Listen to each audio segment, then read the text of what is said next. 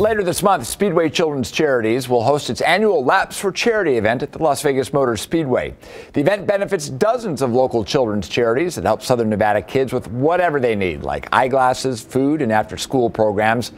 Participants can sign up to drive the Speedway for five or seven laps at about 75 miles an hour.